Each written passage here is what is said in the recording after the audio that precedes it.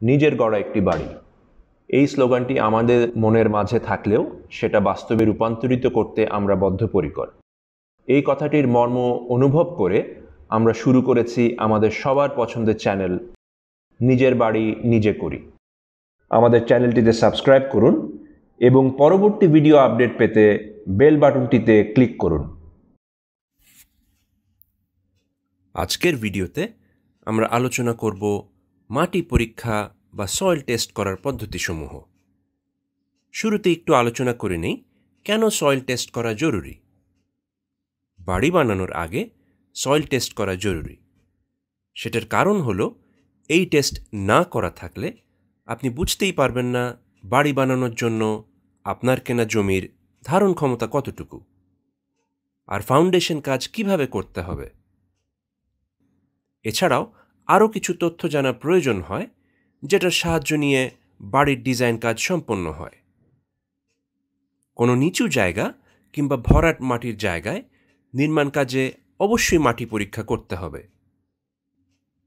এবার আসা যাক সাইটে মাটি পরীক্ষার পদ্ধতিসমূহ এবং সেটার ধাপগুলি কি কি, সে বিষয়ে বিস্তারিত আলোচনা করছি।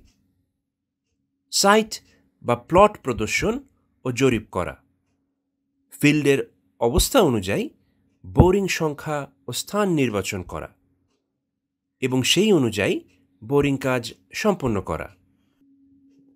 প্রয়োজন অনুযায়ী বোরিং গভীরতা নির্ধারণ করা। প্রত্যেক বোরিং স্থানে মাটির অক্ষত এবং বিক্ষত নমুনা সংগ্রহ করা এবং ল্যাবরেটরিতে পরীক্ষা করা। বোরিং বা ড্রিলিংয়ের সাহায্যে পাঁচ ফুট অন্তর মাটির এসপিটি ভ্যালু নির্ণয় করা এবং মাটির নিরাপদ ভার বহন ক্ষমতা সেফ বেয়ারিং ক্যাপাসিটি বের করা। ফিল্ড টেস্ট এবং ল্যাব টেস্টের ফলাফল বের করা। অবশেষে মাটি পরীক্ষার চূড়ান্ত রিপোর্ট তৈরি করা এবং সেই অনুযায়ী বাড়ির ফাউন্ডেশন সম্পর্কে মন্তব্য করা। আমরা সয়েল টেস্ট করার নিয়মটি এখন দেখব। ছকটি দেখে আপনারা ধারণা করতে পারবেন এবং সে খরচটাও সেই অনুসারে হবে। বোরিং স্থান নির্ধারণ। বোরিং সংখ্যা ও দূরত্ব অনুযায়ী। সাধারণ নিয়ম অনুযায়ী প্রতিতলা বিল্ডিংয়ের জন্য তিন মিটার বোরিং করতে হবে। বিল্ডিংয়ের প্রস্থ বা পার্শ্বদিক অনুযায়ী বোরিং গভীরতা নিম্নরূপ। মাটি পরীক্ষার টেস্ট সাধারণত দুই প্রকার। মাটির field test plate load bearing test ইহা সাধারণ যন্ত্র পরিচালিত পদ্ধতি যা দ্বারা মাটির যে কোনো স্তরে চূড়ান্ত বেয়ারিং ক্যাপাসিটি এবং মাটির সংকোচন মাপা যায় বা নির্ণয় করা যায়। অধিক কিন্তু, এই টেস্ট দ্বারা নির্ণীত ফলাফল, তুলনা এবং সত্যতা যাচাই করা যায়।